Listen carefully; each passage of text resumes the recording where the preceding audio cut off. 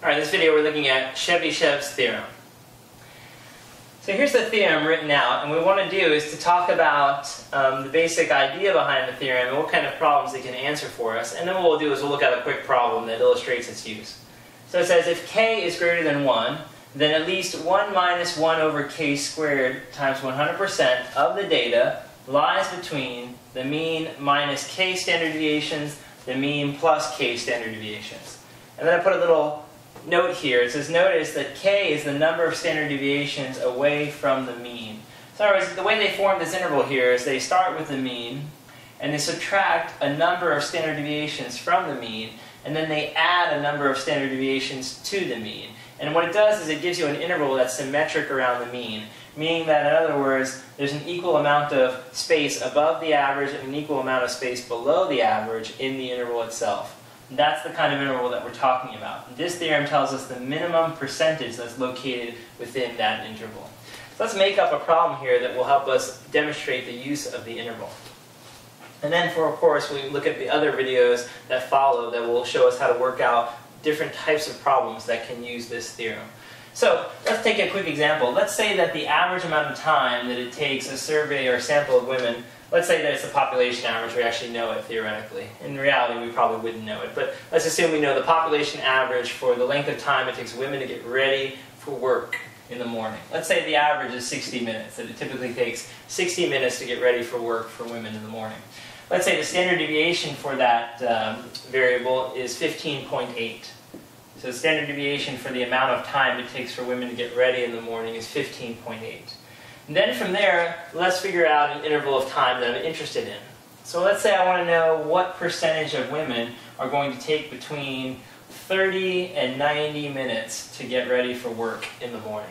That's a pretty good interval, right? It's a half hour to an hour and a half. What percent of women will take that long? Well, I don't know anything else about the data. For example, I have no idea if the data is bell-shaped in distribution, or uniform in distribution, or for that matter, any kind of distribution. I don't know what its shape is. But what I can use this theorem for is to answer questions like this. As long as this interval is just like this interval, in that it's symmetric around the mean. Is this interval symmetric around the mean? We can check to see if it is, and that's the first thing we should check if we want to use Chebyshev's theorem. We should say, well, here's the mean. Is it smack in the middle of the interval?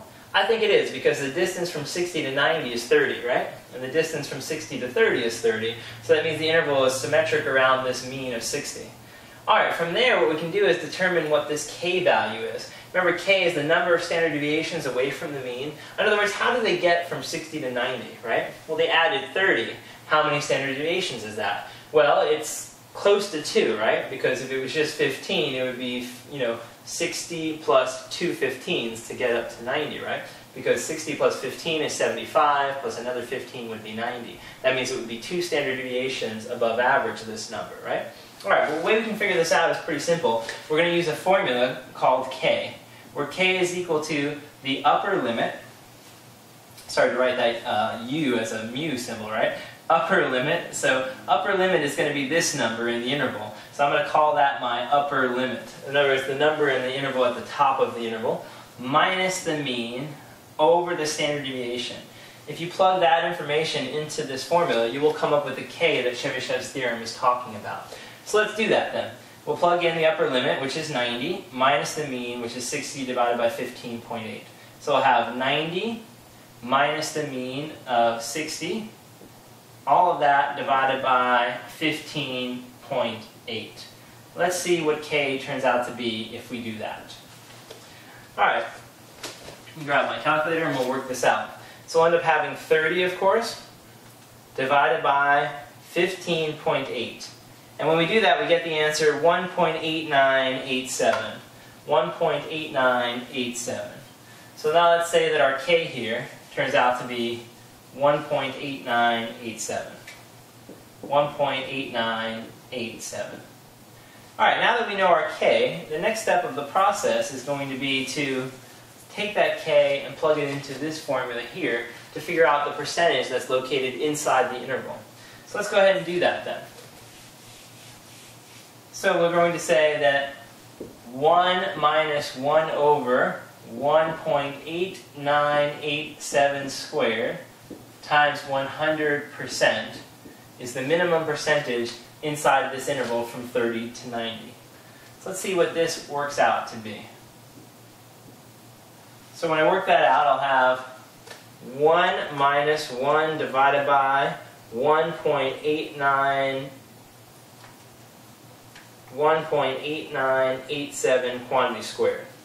Then multiplying by 100, I get the answer 72.3%. 72.3%. And so what is this saying? Well, what it's saying ultimately is that at least 72.3% of women are going to take this long, between this long and this long, to get ready for work. So at least 72.3% of women take between 30 and 90 minutes to get ready for work, right? Take between 30 and 90 minutes to get ready for work. So that's what our interval is conveying here.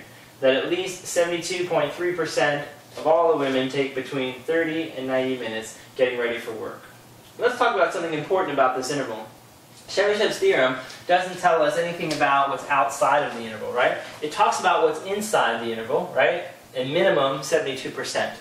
But that means outside we could have as much, theoretically, as 28%, right? This is a minimum percent that's in the interval. Of course, we could have up to 100% inside the interval, which means outside of the interval we have at most 28%, right? Because 72 from 100 gives you 28%. So at least 72 is in here, at most 28 is outside. One thing you don't want to assume in Chebyshev's theorem is that the amount that's outside of the interval is split up on each side equally. So say there was 28 that was outside of the interval. Say there was only, in fact, 72% inside of here we wouldn't know that it's 14 and 14 to make up our 28% outside of the interval. That wouldn't necessarily be true. In Chebyshev's theorem, all we know is that 28% could be outside of the interval, but we don't know if it's all up here, if it's all down here, if some of it is here and some of it is here. We don't know if it's an equal amount above and below, if there is some on both sides. We have no idea about that. The simple thing we know is that no less than 72.3% of the data is inside of here. It could be much more, but it isn't going to be any less. So it gives us a minimum amount of, that the interval contains. So that's a really helpful thing, actually, in many cases. When you do the problem videos, you're going to see how many times this theorem produces an interval, um, or produces a percentage in the interval that's going to be really informative for us. It'll help us make decisions in real life just by knowing the simple quantities of the mean and the standard deviation. Because that's really all this interval depends upon. It depends upon, not this interval, but this theorem, pardon me. All it depends upon is the mean and the standard deviation. The k could be anything, as long as it's greater than 1.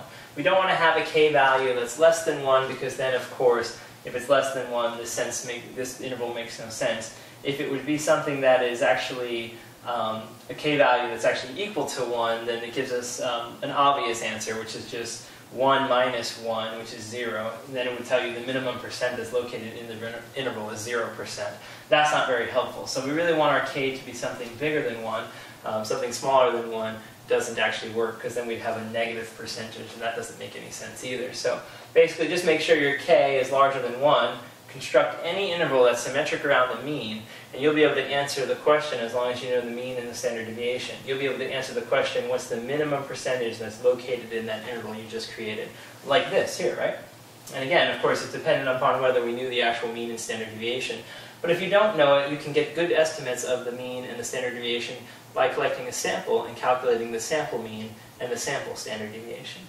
Alright, so watch the next video. Um, the next concept video will redo a problem on the board that's actually related to this same set of data. And then, of course, you can see many problem videos solved after that.